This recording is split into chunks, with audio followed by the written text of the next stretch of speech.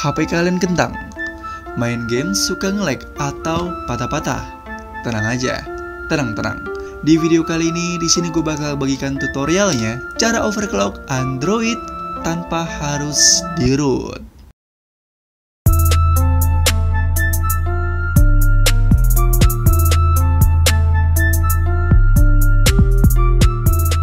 Halo apa kabar semua, balik lagi dengan gue Iksan di channel Bang Gaptek ID.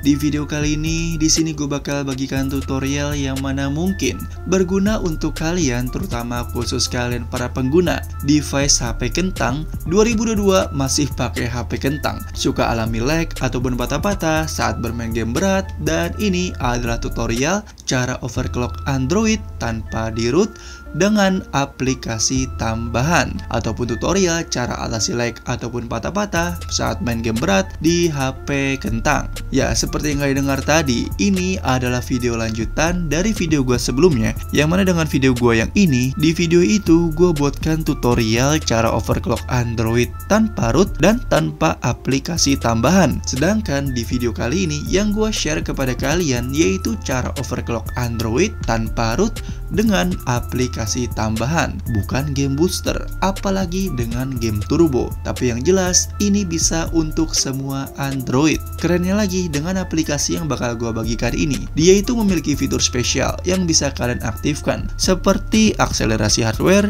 dan paksa GPU rendering. Gimana? Penasaran dengan aplikasinya?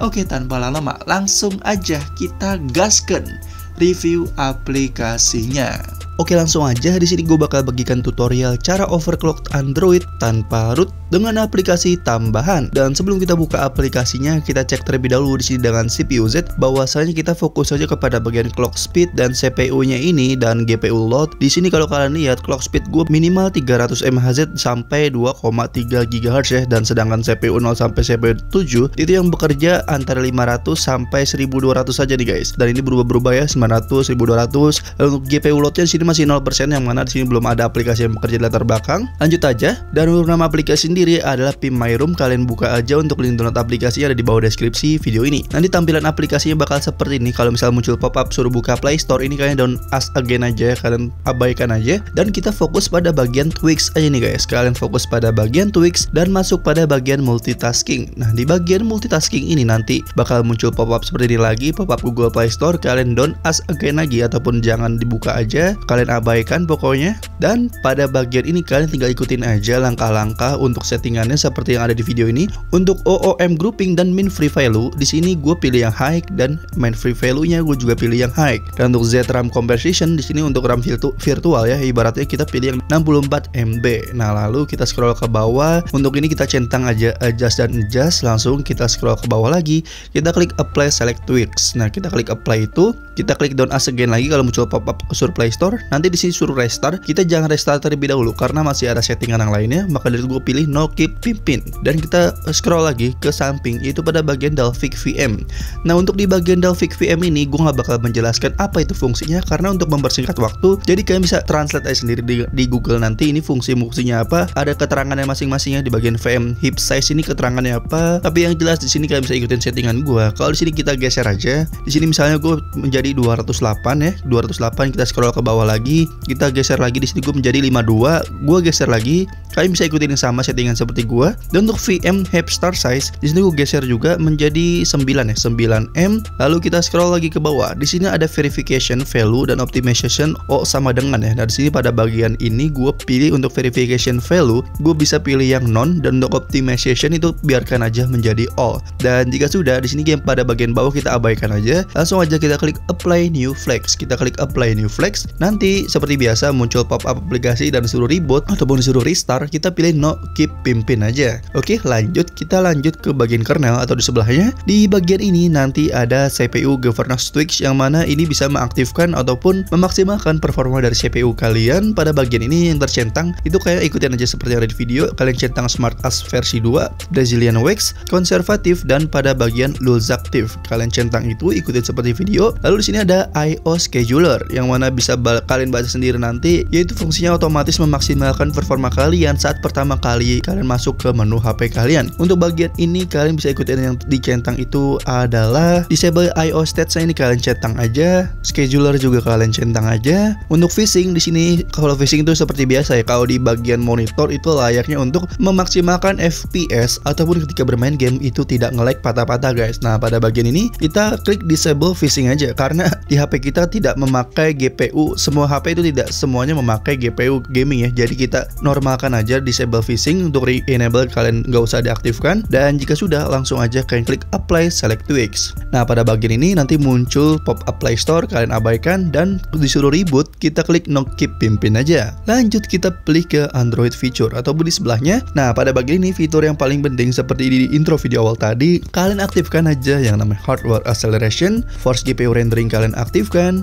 dan kalian scroll lagi ke bawah di sini ada purgable asset yang mana kalian bisa baca sendiri keterangan itu apa. Kita klik on aja. Lalu ada 16 bit transparan itu juga kalian aktifkan ya. Kalian aktifkan. Lalu di sini ada Android Logger. Untuk Android Logger di sini kalian matikan aja. Nah, jika sudah di sini kita lanjut aja ke bagian telepon, nggak ada settingan lagi. Untuk bagian telepon ini kalian abaikan aja karena sini udah settingan default semuanya sesuai dengan aplikasi ini. Kita lanjut ke bagian miscellaneous. Nah, untuk bagian miscellaneous ini cuman ada bagi beberapa bagian aja tercentang. Salah satunya adalah checklist yang bagian ekstra 4 file sistem tweak ini kalian centang aja. Lalu di sini ada internal SD card dan ada external SD card. Nah, biasanya ini kalau kalian melakukan penyimpanan data-data game di eksternal ataupun di SD card, kalian bisa pilih yang eksternal aja.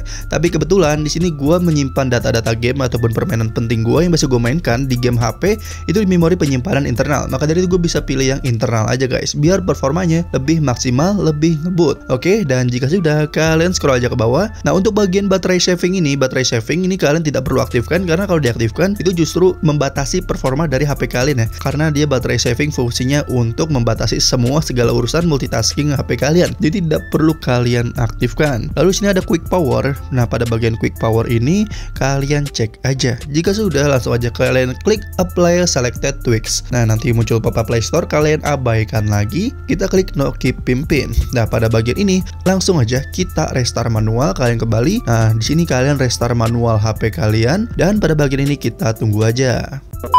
Nah, di sini device gue sudah berhasil di restart dan kita coba buka aplikasi CPU Z apakah ada peningkatan dan kalau kalian lihat sendiri di sini CPU 0 sampai CPU 7 itu langsung meningkat ya di atas 1700 bahkan yang tuh tadi sampai 2300 MHz guys. Yang mana ini tentunya performanya bisa kalian dongkrak untuk bermain game dan langsung aja di sini gue coba tes bermain game yang berat seperti Genshin Impact dan Call of Duty Mobile. Ya, seperti kalian lihat gila di sini untuk performanya sumpah gua puas banget ya guys bermain Call of Duty Mobile. Di sini jadi lancar parah, smooth, anti patah-patah grafiknya. Padahal grafiknya udah gue setting nih menjadi paling tinggi. Di sini tidak ada lagi yang namanya frame drop ataupun patah-patah karena sudah yang namanya di CPU boost ataupun di overclock CPU-nya. Dan jelas ini tanpa root cuma dengan settingan yang udah gue bagikan di video tadi. Lanjut di sini untuk permainan yang kedua yaitu game Genshin Impact di sini juga ada perubahan. Game Genshin Impact di HP gue ini langsung menjadi enak ya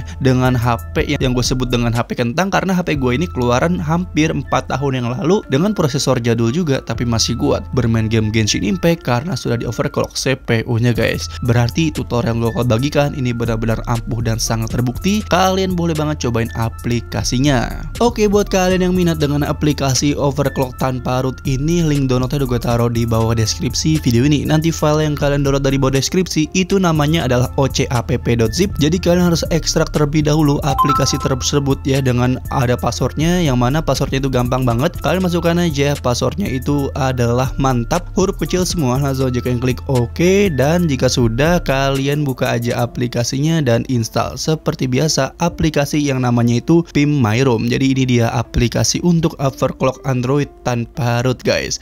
Oke kenapa gue kasih password supaya kalian menyimak videonya dan tidak menanyakan apa yang sudah gue jelaskan di video ini. Jadi gue rasa sekian aja pembahasan serta review cara overclock Android tanpa root dengan bantuan aplikasi tambahan. Like aja jika kalian suka, dislike aja jika kalian tidak suka. Gue Iksan pamit undur diri. Have a nice day.